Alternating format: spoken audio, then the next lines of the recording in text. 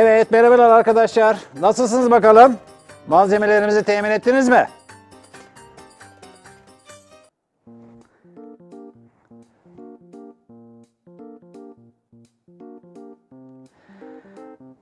Evet malzemelerimizi temin ettiyseniz o zaman ne yapıyoruz? Şöyle masamıza geçiyoruz. Siz de şöyle masanıza geçin. Yavaş yavaş yavaş yavaş şöyle malzemelerimizi yapmaya başlayalım isterseniz.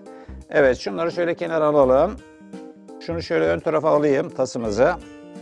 Evet öncelikle suyumuzu tasımıza boşaltıyoruz. Evet bir buçuk litre suyumuzu tasımıza boşalttık. Bu bir buçuk litrelik boş pet şişeyi de atmıyoruz arkadaşlar. Bunu şöyle bir kenara koyalım. Bizim bir su bardağımız vardı. Su bardağımıza deterjanımızı görüyorsunuz. Bu şekilde döküyoruz. Bir buçuk litre suya bir su bardağı dolusu deterjanımızı bu şekilde doldurduk. Daha sonra bu su e, deterjanımızı suyla buluşturuyoruz. Şöyle iyice boşalmasına dikkat ediyoruz. Boşalsın bakalım şöyle. Bekleyelim. Evet boşalttık. Boşalttınız mı arkadaşlar? Gliserinimiz vardı daha önceden. Eczaneden aldığınız gliserini böyle kapağını açıyoruz. Tekrar su bardağımıza bu şekilde döküyoruz. Çok fazla dökmüyoruz. Bunun ölçüsü de şöyle yarım bardak yarım bardağa geçmeyecek şekilde olursa çok güzel olur. Suyla buluşturuyoruz. Bu şekilde. Bardakla işimiz bitti. Bardağı kaldırabiliriz. Yemek kaşığımız vardı. Yemek kaşığımızda şöyle toz şeker. Bir yemek kaşığı toz şekeri şöyle deterjanlı suyumuza döküyoruz. Evet. Şimdi karbonat demiştim ben size. Böyle bir çay kaşığı dolduracak şekilde biraz da karbonat atıyoruz. Böyle gezdiriyoruz. Karbonata da işimiz bitti. Şimdi yemek kaşığımızda şöyle köpürtmeyecek şekilde hafif şekilde karıştırıyoruz. 10-15 saniye 20 saniye karıştırırsak yeter. Çok fazla köpürtmeyelim. Evet bakalım likidimiz sıvımız oldu mu? Bir önce bir deneyelim de. Görüyorsunuz. Sıvımız hazır. Bu sıvımızı isterseniz böyle e, bir buçuk litrelik e, pet şişemiz vardı ya arkadaşlar. Bunu bir huni vasıtasıyla bunun içine boşaltabiliriz. E, daha e, sağlıklı bir şekilde durur. Hem de dökülmez. İhtiyacınız olduğu zaman şimdi birazdan başlayacağız zaten aparatları yapmaya. Daha rahatlıkla kullanabilirsiniz. Evet şimdi e, neyimiz vardı? Bakır tellerimiz vardı. Şimdi aparatları yapmaya geçiyoruz. Şöyle bir küçük bir tane de büyük aparat yapmasını göstereceğim ben size. Küçük aparatı niye e, yapıyoruz? Küçük aparatı da bu şekilde pet şişemiz vardı ya. Pet şişemize e, doldurduğumuz sıvıyı rahatlıkla işte balkonda, pikniğe gittiğiniz yerlerde falan e, yanınızda götürebilirsiniz. Böyle batırıp batırıp baloncuk üfürebilirsiniz. Bakın ben bu şekilde daha önceden hazırladım. Küçük aparatımızı görüyorsunuz. Bakın rahatlıkla girip çıkıyor. Bu şekilde. Diğer küçük aparatımızda başka bir şey de kullanacağız. Bakır telimiz vardı böyle yumuşak bakır telimiz vardı elektrikçilerden aldığınız. E, pense vasıtasıyla, pense vasıtasıyla e, şu şekilde, bu şekilde kesiyoruz. Bakalım kaç santim kesmiş, kesmişsiniz ya da siz kaç santim keseceksiniz. Evde kullandığınız cetvel vasıtasıyla. Şöyle 30-35 santim falan keserseniz e, yeterli olur. İki tane keserseniz daha iyi olur. Bir küçük bir büyük aparat yapacağız şimdi. Evet şöyle cetvelimizi de kaldırıyoruz. Alt kısmı e, tutangaç yapıyoruz, tut, tutacak yapıyoruz. Şimdi üst kısmında büyük aparata geçiyoruz. Üst kısmında e, büyük aparatı yapmak için böyle elimizle bakın bu şekilde daire yapacak şekilde çeviriyoruz. Bu şekilde. Bu şekilde çeviriyoruz. Bakın bu şekilde çeviriyoruz. Gördünüz mü? Bu da tutangaç olmuş oluyor. Şu kısmına şöyle pense vasıtasıyla hafif şöyle bükersek dairemiz daha sağlam olur. Oynamaz. Evet gördünüz mü? Bu da e, tutacağı. Şimdi de küçük aparat yapıyoruz. Küçük aparat içinde yine aynı böyle bir e, tutacak kısmımız var. Küçük aparatı böyle elimizle büküyoruz. Bakın. Elimle büküyorum ben. Tabii bükerken böyle el kaslarınız falan da gelişir çocuklar. Kendi aparatınızı yapacağınız için çok e, keyif alacaksınız. Aynı o şekilde büyük aparatı nasıl yapıyorsak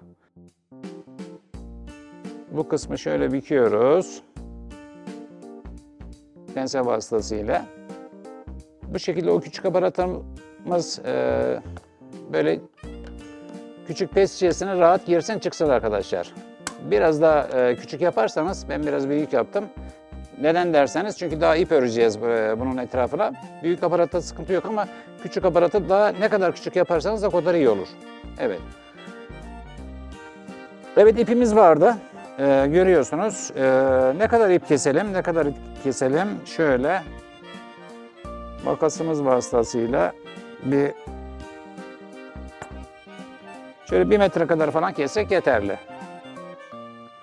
Büyük aparatımıza ne yapıyoruz? Bu şekilde ipimizi uzun e, şu kısmını biraz aşağıya bırakalım daha sonra bağlayacağız çünkü. Şimdi ondan sonra böyle tek e, yavaş yavaş yavaş yavaş örüyoruz dairemizi.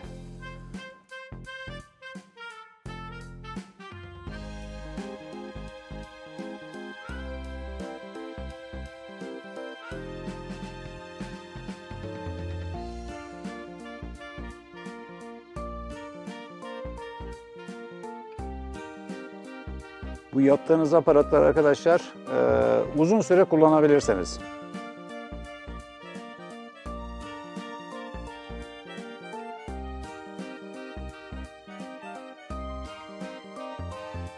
Yuvarlak yaptığımız bakır teli her tarafını örüyoruz.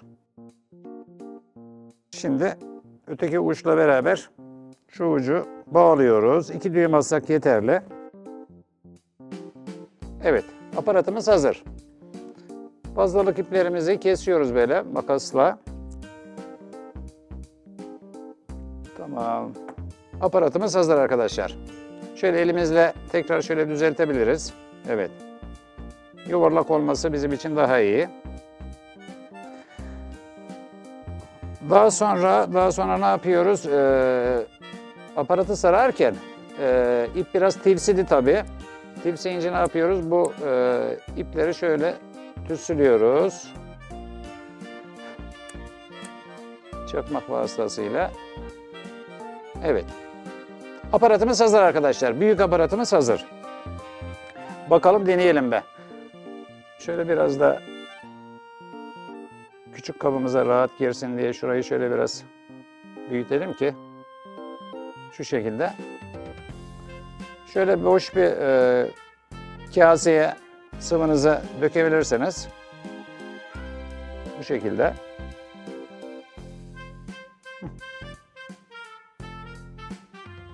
Bakalım baloncuk çıkaracak mı? Hazır mısınız?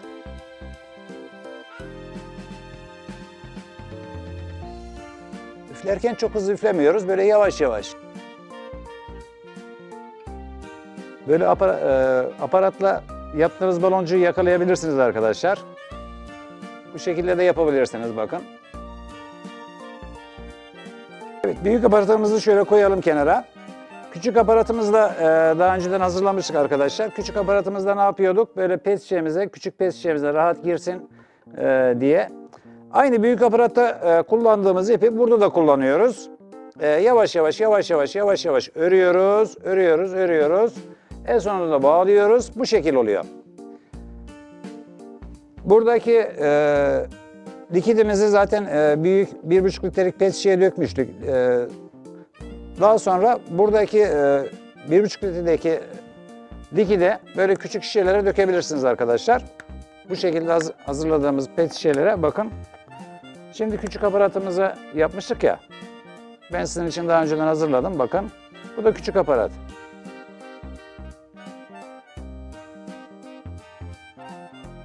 Evet şöyle ağzını kapatabilirsiniz. İstediğiniz yere götürebilirsiniz bunu. Çantada, arabada. e, iki tane pet şişemiz vardı ya küçük. Şöyle bir şey yapıyoruz. Bunu da göstereyim ben size. Nasıl yapıldığını. Bu ne işe yarıyor diye merak ediyorsanız bakın bu şekilde batırıyoruz hafifçe. Süngerli pet şişe bu. Bu şekilde böyle şekilleri yapabilirsiniz arkadaşlar. Kar köpüğü yapabilirsiniz, kardan adam yapabilirsiniz bu şekilde. Böyle kartonun üzerine ya da e, tepsinin üzerine bakın bu şekilde. Şimdi bu aparatı nasıl yapacağız? Önce isterseniz onu ben size bir tarif edeyim bir. Bunu söylemeyi unuttum ben. Daha sonra geldi aklıma. Bu da çok basit. Bunun için malzememiz zaten böyle küçük bir pet şişemiz ve sünger. Bu şekilde bir sünger. Süngerimizin eee kalınlığı, kalınlığı bakayım ölçüyüm. 3 santim. 3 santimi geçmeyecek bir eee, sünger. Süngeri nereden temin ediyoruz? Eee, bu koltuk, döşeme tamiri yapan eee, esnaf arkadaşlarımız var. Onlardan rica etseniz şöyle bir parça, bir parça sünger işimizi görür. Bu süngerimizde bu şekilde şöyle iş- işaretleyelim kare bir şekilde kesiyoruz. Kare şekilde kestik. Bakın görün. Gördünüz mü? Evet. Buradan da e, aparatı yapmamız için bu yılan e, kardan adam aparatı yapıyoruz ya. E, onun için de bu ikinci küçük pet şişemizi ortadan bir yerden bu şekilde kesiyoruz makasla. Düzgün kesmemizde fayda var. Şöyle düzeltelim. Düzgünlük önemli çünkü. Bu şekilde hazırladık. Şimdi süngerimizi bu alt kısma yerleştireceğiz. Yuvarlak yapmanıza gerek yok zaten arkadaşlar. Ee, çapı da aşağı yukarı kaç santim olsun. Bakalım şurada. Yani süngerimizin. Onu da ben size hemen söyleyeyim. 5 santime 6,5 santim yetiyor. 5'e 6 santim kesseniz yeter. Bu şekilde şöyle köşelerine makasla ve pet şişemizin içine yerleştiriyoruz. Bu şekilde aparatımız hazır. Bakalım deneyelim çalışacak mı? Gördünüz mü?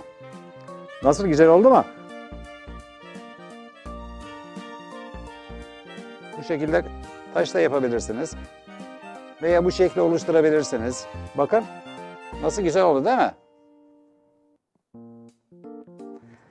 Evet bu basit e, malzemelerle evde nasıl aparat yapıldığını e, balon, köpük balon şovda kullandığımız e, sıvıyı nasıl yaptığımızı öğreniriz değil mi arkadaşlar? Bu aparatlarımızla bir bakalım. Tekrar. Bakın tutuyorum tekrar. Gördünüz mü? Evet, öğrendik mi arkadaşlar? Evet, öğrendiysek, öğrendiysek o zaman hadi bakalım.